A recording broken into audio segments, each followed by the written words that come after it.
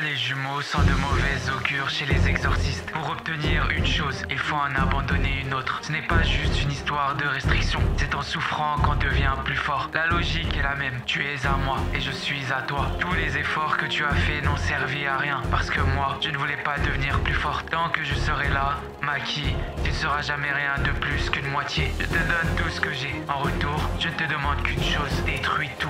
Absolument tout, serait dans un clan d'exorcistes qui plus est dans l'un des trois plus puissants, les techniques maudites sont essentielles pour assurer sa pérennité. Ne pas en avoir relève du sacrilège et vous catégorise comme un fléau à la stabilité du clan. Maltraité durant toute sa vie par sa propre famille, son propre sang, l'invitant à se retirer du monde de l'occulte à tout jamais, Mikey n'aura jamais cédé à l'appel de l'abandon. Bien au contraire, elle ne cessera d'aller de l'avant, cherchant constamment à repousser les limites qu'on lui avait imposées. En réalité, personne ne se doutait du terrible cataclysme qu'elle réalisera des années plus tard. Personne ne pouvait ne serait-ce qu'imaginer le monstre qui sommeillait dans cette jeune femme atypique. Elle qui pensait être le point faible de sa famille, son fardeau, c'était en réalité le contraire. Et c'était sa propre sœur jumelle, son propre sang qui l'empêchait de déployer tout son potentiel. Un potentiel sans limite qui nous rappelle à tous le cauchemar du clan Zenin. Une légende vivante du monde de l'occulte, le terrible Toji Fushiguro. Elle est ce que tout personnage féminin se doit d'être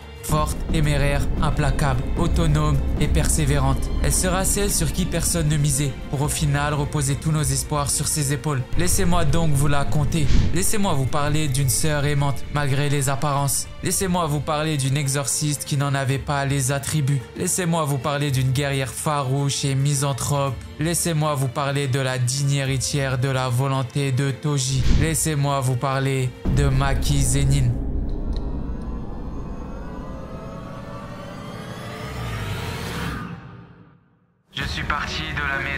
Clan Zénith pour changer mon futur. Si j'étais resté là-bas, tout en bas de l'échelle, je me serais détesté de l'avoir fait. Alors je souhaite les dépiter. Je me languis de voir leur visage quand je serai devenu une grande exorciste. Après toutes ces années où ils m'ont pris de haut et On se retrouve après le terrible massacre de Shibuya. La traque mortelle est lancée. Et si l'on pouvait penser que Maki avait succombé à ses blessures, la revoilà métamorphosée, à peine reconnaissable. Les élèves de Gojo, maintenant c'est les élabore alors un plan afin de le libérer et de prendre part au jeu macabre de Kenjaku. Elle souhaitera alors récupérer des armes maudites auprès de son clan, sans se douter des terribles événements que cela va engendrer.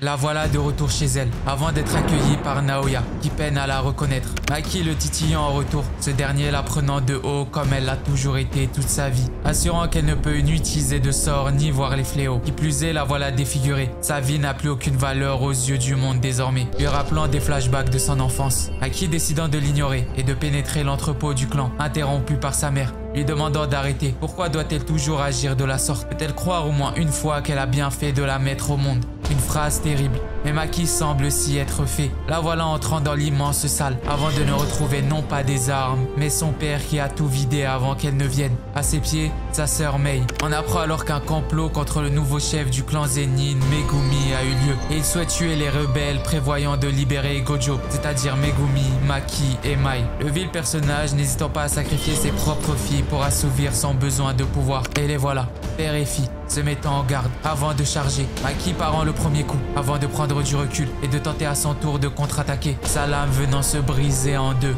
Du moins, c'est ce qu'elle croyait. Elle était encore chargée d'énergie occulte, venant la surprendre et la blesser gravement. Si je ne suis pas devenu chef de clan, c'est de votre faute. En tant qu'exorciste, mon frère ne m'a jamais dépassé que dans un seul domaine, un seul, la descendance. Un enfant ne devrait jamais tirer ses parents vers le bas. Et après avoir utilisé ces mots extrêmement durs, le voilà balançant ses deux filles à peine conscientes dans une salle remplie d'esprits maudits, avant de faire ses adieux à sa descendance. Mais il parle alors avec sa sœur. Elle n'est qu'une tête de mule, mais elle savait que ce jour viendrait, avant d'embrasser sa sœur. On les retrouve alors au bord de mer, dans l'espace de Mei. La dernière lui demandant de s'occuper du reste, Maki ne comprenant pas qu'elle revienne, mais lui expliquant alors que parce qu'elles sont jumelles, leur force a toujours été divisée. Elle n'aura été qu'un fardeau dans le développement de Maki. Tant qu'elle est là, elle ne pourra jamais évoluer. Elle lui offrira alors toute son énergie occulte, malgré la réticence de Maki, avant de ne lui demander qu'une seule chose, qu'elle détruise absolument tout, revenant à elle, entourée de fléaux affamés. Puis son père se met en garde. Quelque chose s'est passé. L'énergie des fléaux a disparu. Mon corps se souvient de ce sentiment que j'avais essayé d'enfuir.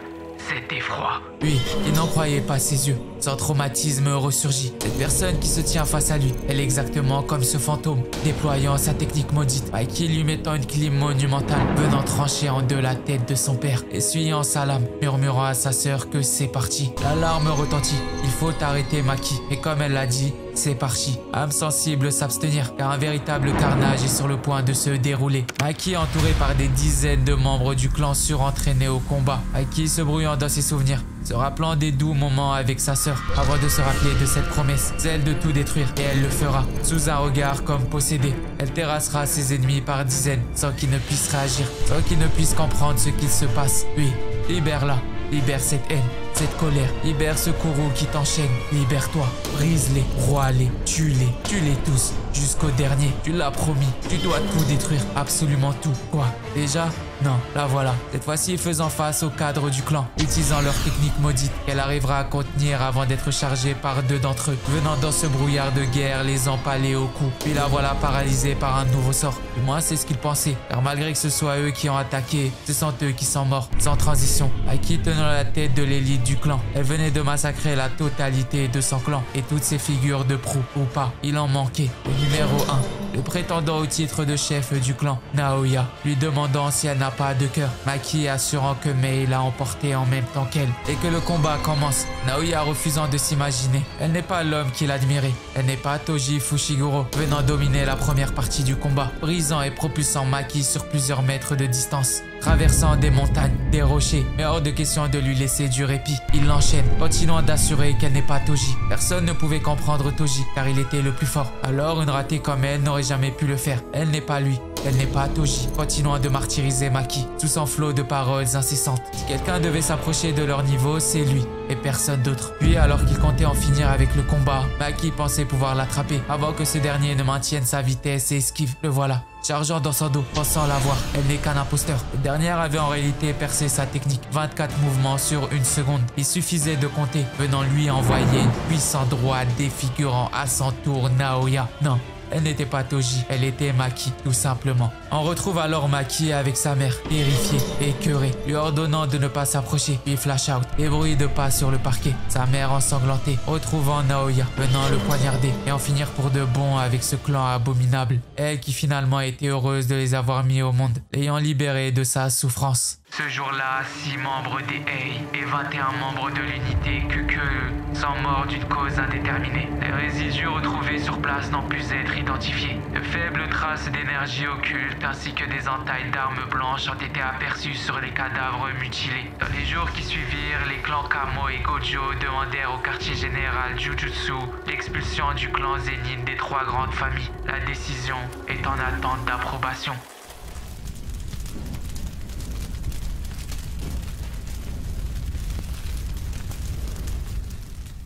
La traque mortelle, je vous passe les détails, mais dites-moi en commentaire si vous voulez une vidéo qui résume l'arc entièrement. Quoi qu'il en soit, Maki se retrouve dans la colonie de Sakurajima, et alors qu'elle discute avec Noritoshi, un fléau pénètre la zone. Maki ressent alors quelque chose d'étrange. Ce fléau lui semble inhabituel, et alors qu'il flottait dans les airs, le voilà, pensant vers eux en contrebas. Une explosion survient alors. Noritoshi n'a rien vu venir. Sans s'en rendre compte, Maki avait été traîné à des kilomètres de là, bloqué contre un mur. Elle tentera de repousser la créature avant que ce soit elle qui soit repousser. Le fléau était extrêmement rapide. Il viendra la plaquer au sol avant de prendre un visage humanoïde, saluant l'exorciste. Il s'agissait de Naoya. Il était revenu la hanter. Maki ne l'avait pas exorcisé, le tuant à main nue sans énergie maudite. Il lui explique alors que c'est plutôt sa mère qui l'a tué. Fort heureusement, Noritoshi viendra couper court à la discussion, offrant une sport de sortie à Maki. Il enchaîne alors de plusieurs flèches, n'était en réalité que des diversions, afin que Maki vienne le trancher au corps à corps. Elle le repousse donc, et flèches viennent le perforer. Enfin, l'exorcisme vient trancher en deux le fléau. Et cela semblait beaucoup trop simple. Le voilà, prenant la forme d'un fœtus maudit. Il était en train de muer. Noritoshi tentera de l'achever avec une technique surpuissante, transperçant l'embryon. Malheureusement, la chose avait déjà pris forme, ayant à peine le temps de cligner des yeux qui sera déjà apporté et assénant un puissant coup. Fort heureusement, il aura eu le temps de le parer avec son sang. Et mieux vaut rester concentré. Nouvelle attaque. Cette fois-ci tranché par Maki. Puis, comme si ce n'était pas assez, le voilà, utilisant son sort occulte, fixant l'air pendant une seconde avant d'engendrer une immense explosion. Naoya s'envole alors, et il ne fuit pas. Non, il prend de la vitesse. Les deux exorcistes se préparent à l'assaut, et le voilà, à toute vitesse, se propulsant. Aki décidera alors de le recevoir comme elle l'a déjà fait. Une vitesse supersonique plus tard, un flash noir, Maki au sol, en sang. Une vitesse atteignant match 3. Elle avait perdu. Il se tient au-dessus de cette dernière, prêt à l'achever. Sauvé in extremis par Noritoshi, Maki en profitant pour prendre du recul. L'exorciste souhaitera alors se sacrifier pour permettre à Maki de prendre la fuite hors de la barrière. Elle refusera évidemment. Elle lui demandera de lui donner 5 minutes, le temps pour elle de régénérer ses blessures. Et ainsi le plan de contre-attaque démarre. Noritoshi et Naoya nous offrant un combat cataclysmique. Et finalement, le jeune exorciste ne fait toujours pas le poids, essuyant de lourds dégâts. Néanmoins, hors de question d'abandonner ou de se laisser aller. Il tente avec toutes ses forces restantes de gagner ses précieuses minutes, ses précieuses secondes pour Maki. Peu importe les dégâts subis, il se relève constamment. Il voit sa vie défiler sous ses yeux, mais il continue de se battre. Encore, encore et encore. Puis elle surgit à nouveau. Même si cela ne faisait que 3 minutes, deux individus apparaissaient également. L'un se saisissant du katana de Maki. Ce joueur de la traque mortelle débutera alors un combat face au fléau, arrivant même à le trancher en deux. Qu'est-ce que c'était? Le sabre n'agit pas de la même manière quand c'est moi qui le manie. Je n'ai pas cette aptitude. Qu'est-ce que je ne vois pas? Quelle est la différence entre lui et moi Puis la voilà, dans un territoire simple. Ce sumo, comme envoyé par le ciel, lui demandera de l'affronter et elle n'arrive toujours pas à le voir. Que lui manque-t-il Mangeant la poussière à plusieurs reprises avant de la questionner sur son blocage. Elle n'arrive pas à mettre de mots dessus. Il va le lui montrer alors, mais seulement en combattant. C'est plus simple ainsi. Entre chaque prise, il lui explique qu'elle est prisonnière d'elle-même, de la malédiction et du genre humain. Il faut qu'elle se libère pour sentir pleinement son adversaire, s'ouvrir à ses propres émotions afin que même l'issue du combat n'ait plus de sens, seulement la sensation physique. Le territoire se brise et Maki le sourire aux lèvres assurant qu'elle est en pleine forme. Elle était comme transformée, sortie de sa chrysalide, un papillon déployant ses ailes. Naoya tente à nouveau sa technique, prenant de l'élan, poursuivi cette fois-ci par Maki. Et il ne comprend pas, il n'arrive pas à la voir, il devrait être plus rapide qu'elle. Les deux êtres brisant tous leurs environnements dans un combat à mort. Maki semblait ailleurs, totalement éveillé cette fois-ci, comme une impression de déjà-vu flottant dans les airs apaisés. Tout ce qui m'entoure m'indique les déplacements de Naoya. Grâce à Mei, j'ai acquis un nouveau corps et je peux distinguer les fléaux. J'étais content d'être enfin comme les autres. Je pensais qu'il fallait être comme tout le monde. Mais il y a des choses que je suis la seule à voir et des choses que seule une autre personne peut voir. C'est inévitable. Maki ressent alors la température et sa densité afin de lire les mouvements de Naoya. Elle arrive même à le toucher. Ses amis viennent même l'aider, réduisant en morceaux le fléau. Et décidément, il reste souplé jusqu'à la toute fin. Le voilà utilisant une extension de territoire, le palais lunaire de l'apoptose, venant trancher les exorcistes. Il s'effondre alors avant d'envoyer sa lame. Les mains surgissent de l'ombre et une épée le pénètre au torse. Comme Toji, Maki ne possède pas d'énergie occulte. Il est impossible de l'enfermer à moins qu'elle le choisisse volontairement. Son regard l'avait enfin accepté, sa vraie haine, sa propre nature. Elle a brisé ses chaînes et fait la paix avec elle-même. Maki, venant conclure pour de bon cette fois-ci l'affrontement, exorcisant le fléau. Maki était devenu un véritable monstre qui pouvait sans aucun doute rivaliser avec Toji Fushiguro. Non, tu n'étais pas lui. Pourquoi doit-on te comparer à lui alors que tu es toi-même? Tu n'es pas Toji, tu es Maki et le monde doit le comprendre. Ce même monde qui t'a enchaîné, qui a tenté d'implémenter la graine de la défaite, de l'abandon et de la résignation en toi. Fort heureusement, tu as décidé de ne pas arroser ces faux semblants, de les briser de les tordre de toutes tes forces. Mais si toute ta vie tu t'es battu pour y parvenir, tu n'aurais malheureusement pu y parvenir sans ta moitié, car on te l'avait prise, on te l'a rendue. Tu es alors devenue forte, mais à quel prix Cela t'a rongé. Tu t'étais certes éveillé, mais encore une fois, qu'à moitié, car il fallait trouver la paix, celle d'accepter ton nouveau toi, celle de ne faire qu'un avec Mei, celle de ne plus se comparer, de ne plus être comme lui, d'être simplement toi. Tu finiras alors par comprendre que le bonheur est en soi, chez soi, autour de soi et au-dessous de soi. Tu étais prête à tout détruire, car c'était elle qui te l'a demandé. Anéantir un clan entier, mettre fin à une lignée. Alors je te le demande, Maki. Continue à tout détruire. Perpétue la légende d'une étoile disparue. Immortalise la tienne dans les constellations. Sois l'étoile du matin, celle qui protège l'humanité, celle qui éradique les fléaux. Odio n'est plus. La place du plus fort est vacante. Alors empare-toi de celle-ci, rends-nous fiers, car si le monde a toujours douté de toi, nous autres y avons toujours cru, toujours cru en toi. Bon voilà, depuis le temps que je voulais parler de Maki, elle fait vraiment partie de mes personnages favoris et son développement est à montrer à tous les mangaka qui détruisent leurs personnages féminins. Proposez-moi d'autres personnages en commentaire. Je pense à Yuta par exemple. Le montage et l'écriture m'a pris pas mal de temps aussi. Du coup, si tu peux t'abonner, liker pour me soutenir, ça me ferait grave plaisir. Je live aussi régulièrement sur Twitch, donc n'hésite pas à venir follow la chaîne pour ne pas louper les lives afin qu'on discute ensemble. Et également mon Insta pour voir ma grosse tête, le Twitter pour me parler directement, le TikTok où je fais du contenu original et le Discord où pas mal de choses se passent en description. On se retrouve bientôt pour une prochaine vidéo. Sur ce, peace out